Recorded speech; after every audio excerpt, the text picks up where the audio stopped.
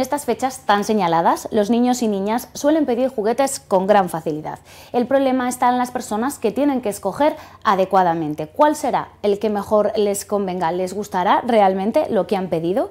Iris Jabato Andrés es la responsable del proyecto El juguete educativo de Cruz Roja Juventud y hoy nos acompaña para darnos algunos consejos. Buenos días, Iris. Buenos días. Bueno, cuéntanos, ¿qué tenemos que tener en cuenta a la hora de escoger un juguete?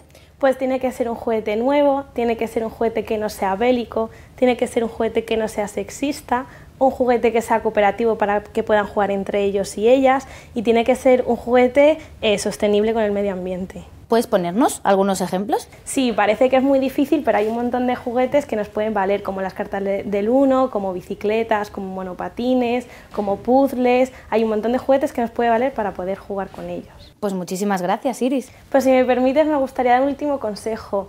Eh, lo importante es la atención al final de los adultos hacia los niños. El juguete es un instrumento para que aprendan a jugar y a relacionarse. También hay que dejar que, se, que jueguen ellos y ellas solos, pero eh, al final es muy importante que el adulto haga caso a, los niños y a las niñas. Pues nos ha quedado clarísimo, nos has dado consejos muy útiles. Muchísimas gracias, Iris. Nada, a ti. Y ahora queda en vuestras manos escoger bien.